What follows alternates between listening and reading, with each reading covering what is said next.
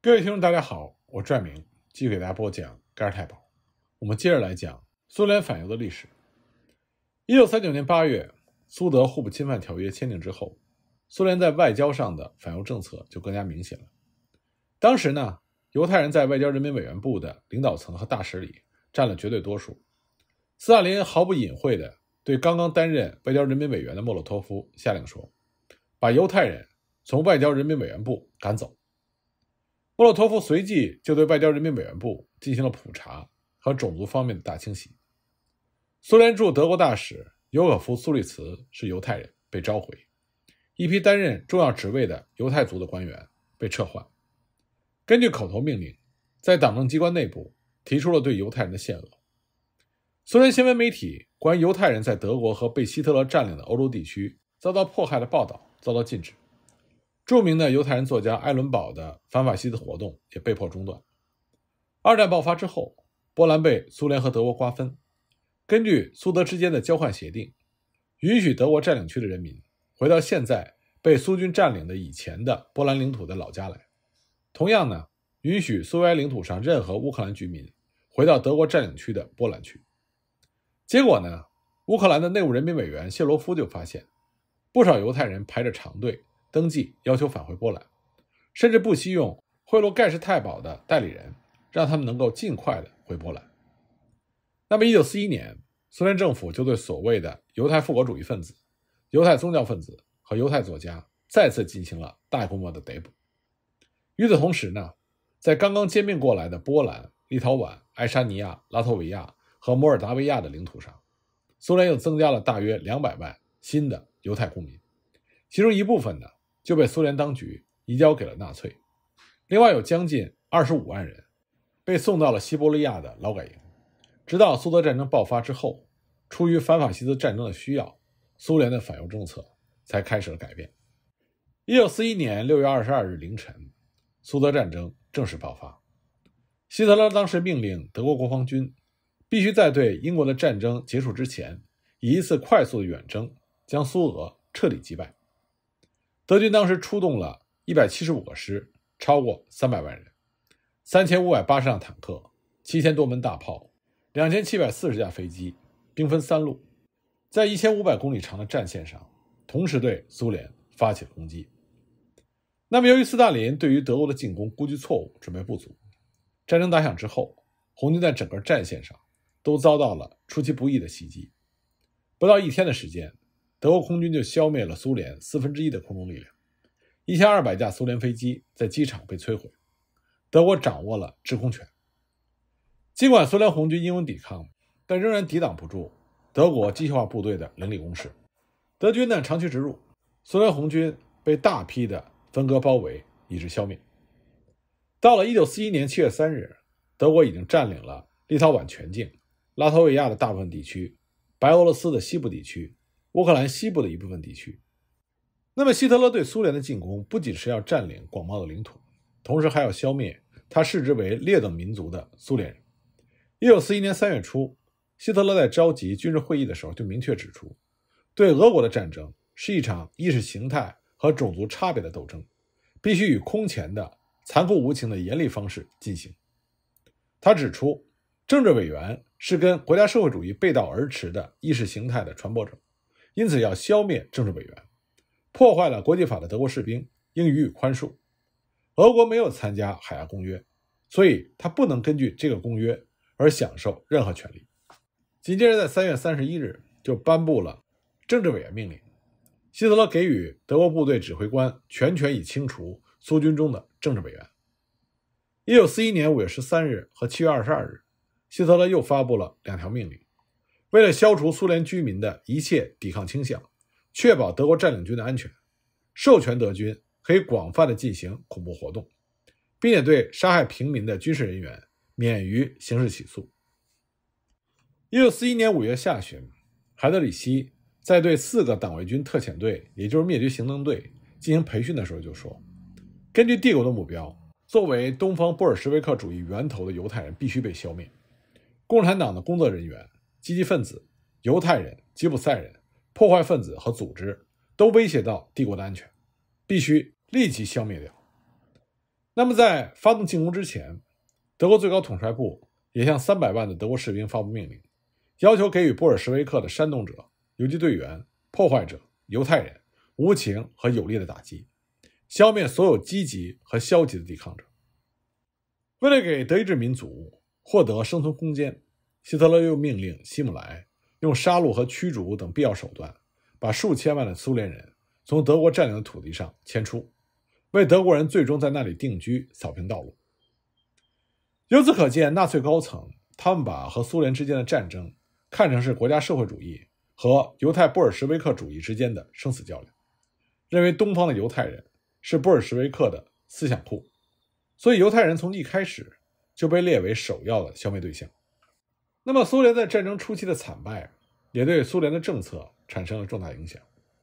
一九四一年七月三日。斯大林第一次以兄弟姐妹们、朋友们这种异乎寻常的亲切的称呼，向全国民众发表了广播讲话。他指出，德国人的目的就是要侵占我们用自己的汗水浇灌出来的土地，掠夺我们用自己的劳动获得的粮食和石油。他的目的就是要恢复地主政权，恢复沙皇制度，摧残苏联人民，把他们德意志化，把他们变成德国王公贵族的奴隶。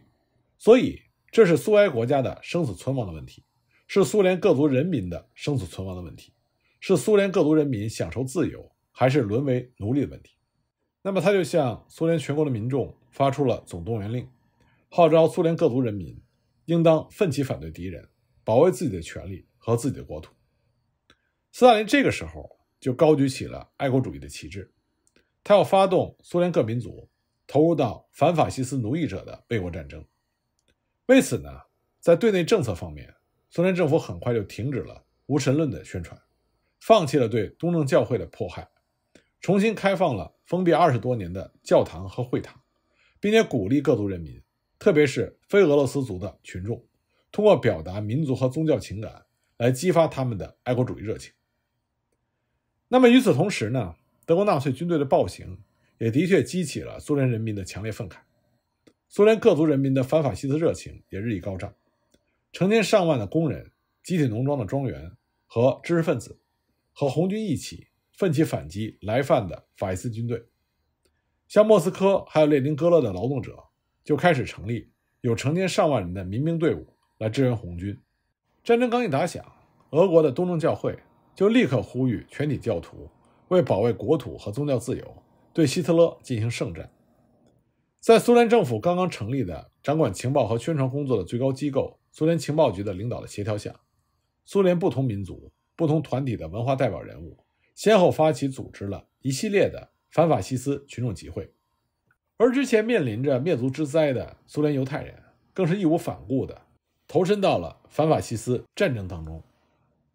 一九四一年八月十六日，苏联著名的人民演员米霍埃尔斯教授、著名的作家贝格尔森。著名诗人马尔基什、科维特科、著名的新闻记者艾珀斯坦等八位犹太文化名人联名致函给苏联情报局副局长洛佐夫斯基，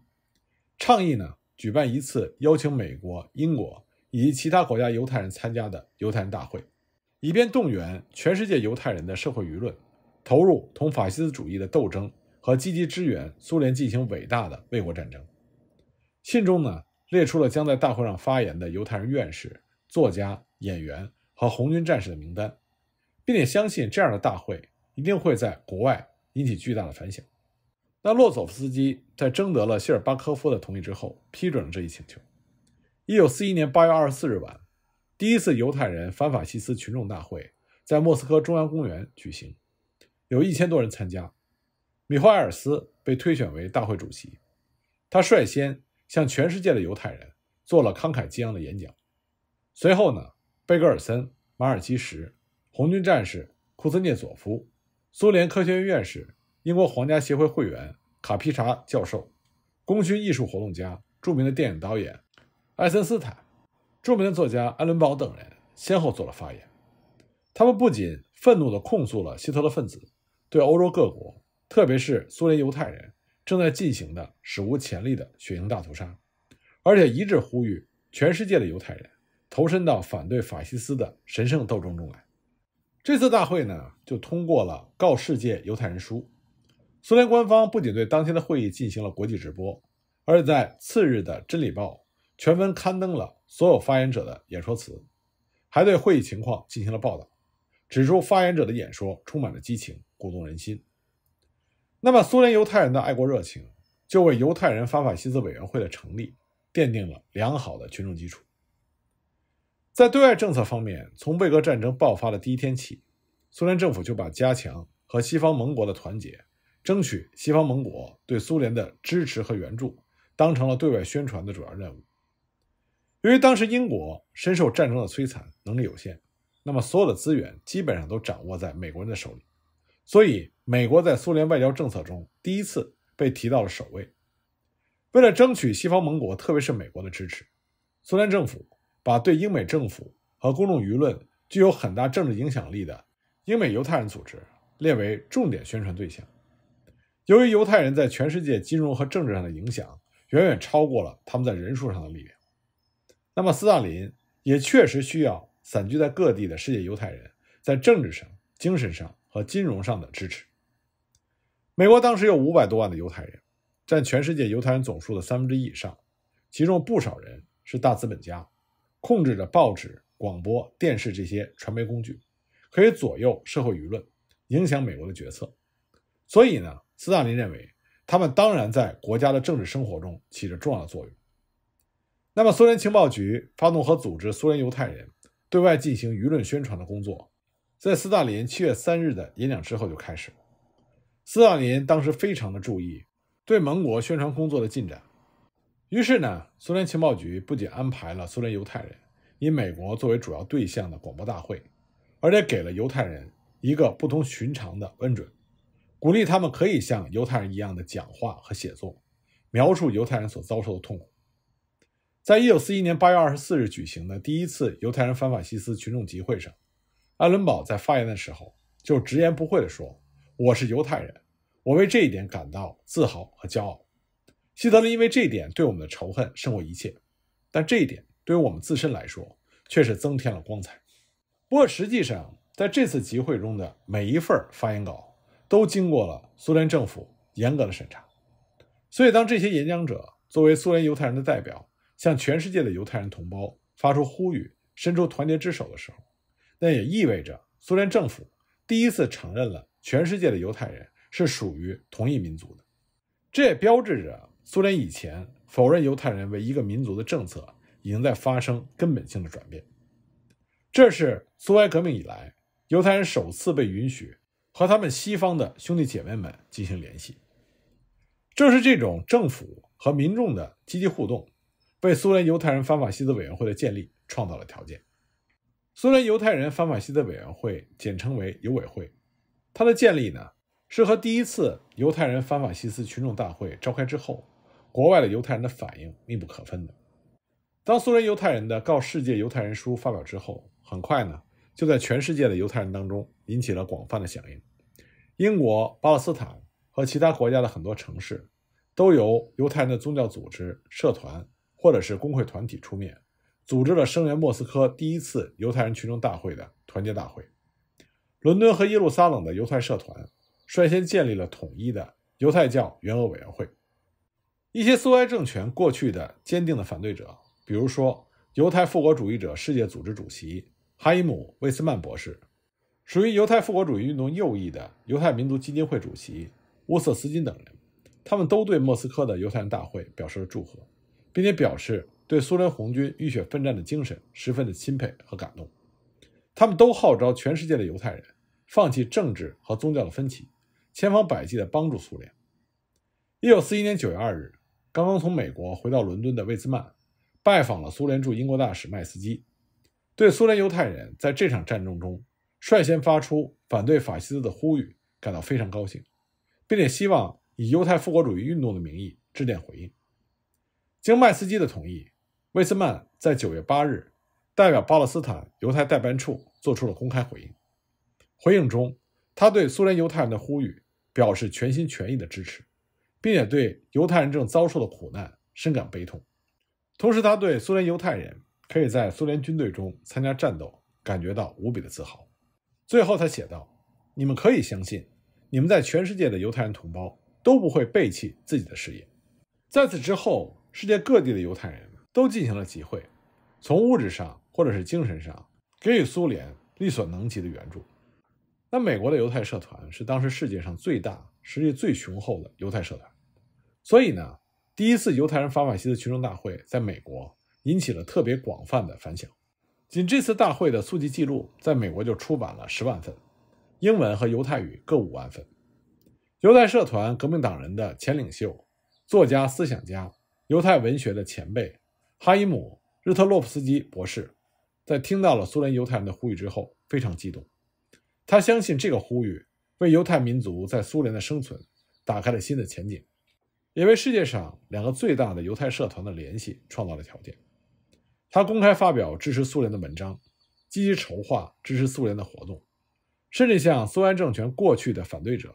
著名的美国犹太复国主义者领袖拉比斯蒂芬·维斯博士所领导的世界犹太人代表大会，也做出了专门的决议，